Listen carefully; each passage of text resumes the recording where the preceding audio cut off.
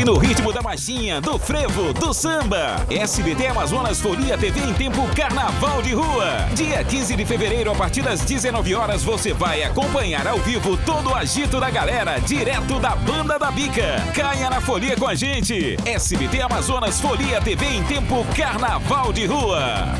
Oferecimento Tropical Multiloja. Tudo para você brilhar na folia. E Nissan Tropical. Quem testa, compra Nissan.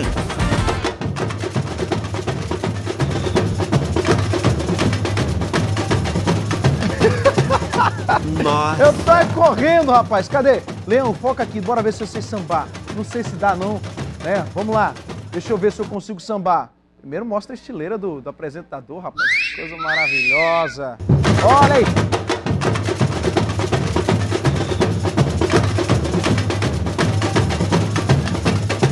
Agora vem pra cá comigo. Tirou. Já, já, passou, passou já. Oxe, negócio, vão querer bagunçar com o apresentador tô aqui? Tô passado. Eu também tô passado, rapaz. Olha só, um dos cuidados que os foliões devem tomar é levar para a festa apenas a quantia de dinheiro necessário, né? Ou seja, deixa na conta do amigo, passa no cartão do amigo lá, né? Não leva muito dinheiro não, principalmente nas festas abertas e em locais de grande aglomeração. Tem uma multidão ali, meu amigo. Rapaz, mete a mão no teu bolso, tu não sabe o que acontece, né? Então é melhor tomar cuidado e levar só o suficiente. Também é preciso ficar atento quando for precisar usar o telefone. É, porque você não sabe quem vai passar ali de repente e tal. Isso é orientação principalmente da Polícia Militar do Amazonas, que é para que o cidadão olhe em volta e certifique que está em um lugar seguro para poder usar o aparelho. Então essas são as dicas, tá certo? Para você que vai para as bandas, para você que vai para os blocos, tome cuidado. Valdir, deixa eu te perguntar, meu amigo, tu é desses caras que vai para pra banda, para esses negócios, pro bloco, ou não, tu fica em casa? Eu vou pra banda de melancia, Luiz.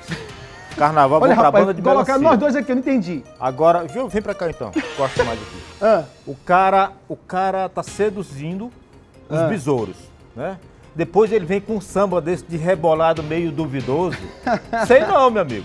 Não sei não. rapaz, Agora, tu a tá- única quer dizer que tu banda tá que eu seduzindo gosto- besouro, é? Espera aí que o diretor... Ah. Espera, espera, um momentinho que o diretor quer conversar comigo. Ah. Fala, diretor. Pra me chamar a próxima matéria. Vai logo, deixa eu Não sair posso daqui. ficar brincando com o Luiz, diretor? Então tá, vou chamar a próxima matéria. Um, um homem foi preso suspeito de tirar, de tirar, de ter matado o próprio tio no município de Borba. Quem traz os detalhes, meu amigo, é ele que não descansa, não dorme, só faz almoçar, nem jantar. Marcelo, Ma... Marcelo Bezerra, diretor. Marcelo Bezerra, coloca na tela. Isso mesmo, no município de Borba, região do Baixo Solimões, a polícia recebeu uma denúncia anônima para o linha direta do 190, informando que havia um homem desaparecido. E segundo informações, havia um suspeito que teria matado o próprio tio a cacetada na cabeça. O suspeito foi identificado como Roger Coutinho Campos, de 19 anos. Ele estava em um bar próximo ao Porto do Nazaré. A polícia se deslocou ao local e foi reconhecido imediatamente. Ele foi encaminhado à delegacia e foi apresentado, onde confessou o crime praticado e jogou o corpo do tio em um rio na comunidade do Guajará. Ele ainda vendeu dois panos de malhadeiras e um rabeta, que era do tio que foi morto, identificado como Railson. O suspeito foi autuado por homicídio e furto e vai ficar à disposição do Poder Judiciário. Volto com você aí no estúdio. Obrigado, Marcelo. Veja só, a gente brinca aqui, meu amigo, mas quando a gente noticia algo tão sério igual esse aí, não só o fato de ter tirado a vida de uma pessoa que ele conhecia, mas simplesmente aí, com esse agravante de ser o tio dele. Agora eu te pergunto, tem jeito uma praga dessa? Vai se ressocializar lá no presídio? Não vai, não vai. Vai ter outra oportunidade? Vai ter outra oportunidade, porque nossa justiça permite uma, duas, três, sabe lá quantas você precisar e quantas você pedir de oportunidade para mudar, mas não muda. Porque se tivesse se arrependido, não teria roubado em seguida. Eu posso dizer que é latrocínio, né, doutor? Matou e roubou. Então não foi vender ainda os pertences que era do seu tio. Agora você de casa, eu te pergunto. O que tu deseja para um animal desse? Se fosse com teu tio que tivesse matado, o que que ele merece? Porque aqui o Valdir está limitado a dizer, porque lá os direitos humanos vão dizer que o Valdir está fazendo apologia ao crime. Mas o desgraçado desse não merece estar atrás das grades, não. Ele merece logo em seguida, lá para onde o tio dele, para onde ele mandou o tio dele, ele merece ir atrás. Mas sem caixão, sem nada. Enterrado de cabeça para baixo. Para que ele chegue lá no inferno, já o capeta já veja o rosto dele. Não, é de indignar, Luiz. É de deixar qualquer um indignado. Matou o tio para roubar, no mínimo aqui, no mínimo, tem uma cachaça por trás ou tem uma droga. Não que isso justifique, mas no mínimo são usuários, são viciados. É isso mesmo, Valdir. 10h48, meu povo. E olha só, a gente muda o assunto, tá certo? A gente precisa que você aí de casa atente para essa situação. Ajudem os pais a encontrar o filho adolescente de 16 anos desaparecido lá no bairro do Cidade de Deus, gente. É, o nome dele é Enzio Neves, tá certo? De 16 anos. Ele está desaparecido desde o dia 15 de janeiro deste ano. Foi visto pela última vez saindo de casa, localizado lá na rua Praia das Fontes, no bairro do Cidade de Deus. Não informou seu destino e nem com quem iria se encontrar. Por isso é importante, quem souber da localização dele, ligue para os números 98421 8462. Lá você vai falar com o pai, o senhor Ézio. Ou você pode também estar ligando para o 9279 2928 e falar com a mãe dele, dona Eneida. Gente, vamos ajudar, tá certo? Qualquer informação, qualquer localização que você puder passar, ligue para esses números, tá bom? Para que você possa estar cooperando, principalmente com essa família. Imagine, saiu na, no, no, dia é 12, não é isso, meu diretor? No dia 12, dia 16, não, ele tem 16 anos. No dia 15 de janeiro, e não retornou. Nós já estamos em fevereiro, ou seja, olha a angústia dos pais e de toda a família.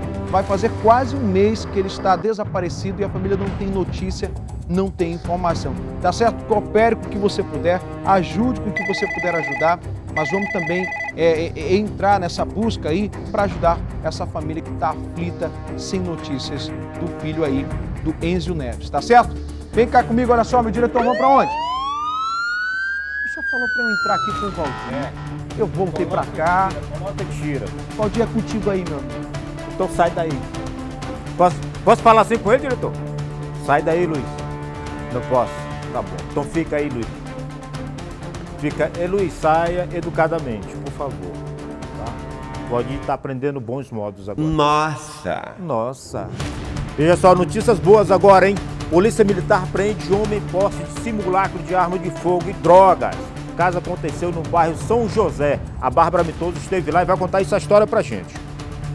Na denúncia, a informação é de que haviam homens que estavam armados, intimidando os moradores da rua Pará com a rua Amazonino Mendes, no bairro São José 2. E através dessa denúncia é que os policiais foram até esse local. E quando chegaram lá, eles simplesmente se depararam com realmente várias pessoas em atitude suspeita, só que essas pessoas elas acabaram fugindo assim que perceberam a presença dos policiais e conseguiram. Só que um deles acabou tentando se esconder atrás de uma árvore. E quando os policiais chegaram perto, pediram para que ele se rendesse, ele se recusou ainda ameaçou os policiais com uma arma de fogo. Então, os policiais acabaram é, intimidando ele, tentando fazer com que ele se entregasse, mas mesmo assim ele resistiu e acabou sendo atingido com dois tiros: um no pé direito, um no pé esquerdo, na verdade,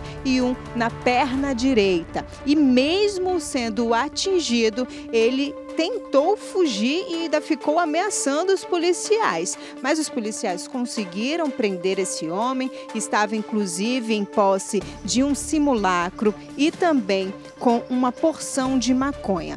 Os policiais é, acabaram acionando o serviço de atendimento móvel, ele foi atendido e em seguida encaminhado para o 14º Distrito Integrado de Polícia, onde esse homem, identificado como Frank Cortes, de 23 anos, foi flagranteado por tráfico de drogas. Volto com você.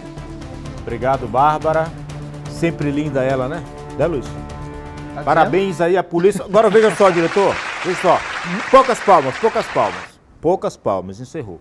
Eu queria dançar também e pedir muitas palmas, mas por enquanto quero dizer o seguinte: Polícia Militar, dois tiros nos pés, na perna. Não entendi. Eu vou pro, pro clube de tiro, o alvo lá é só da, do bucho até a, o cabeção aqui. Aí eu vou atirar no pé? Não dá, meu amigo. Não dá. Vamos melhorar essa pontaria aí. Desgraçado não morreu, tá lá na maca lá, cheio de sangue, mas não morreu. Não, meu amigo. Vagabundo tava com simula simulacro, né? É, é o, o, espírito do gato tem que afastar, como Luiz fala. Simulacro. Mas para quem não entende, para quem não conhece arma, vai passar o mesmo constrangimento. Aquela arma apontada ali, meu amigo, para uma pessoa inocente, leiga no assunto, vai imaginar que é uma arma verdadeira. E além disso, Luiz, ainda ameaçou os policiais. Ele não estava pedindo outro local, o tiro, estava pedindo em outro local. Um simulacro, uma arma que não atira, de brinquedo, vamos dizer assim, e não ameaça a polícia. Aí o policial, Luiz, atira no pé e na perna. Aí não dá, parceiro. Quem sabe ele consiga fugir da próxima vez assim, ó. Já vai aproveitar? Vamos pro comercial, daqui a pouco a gente volta.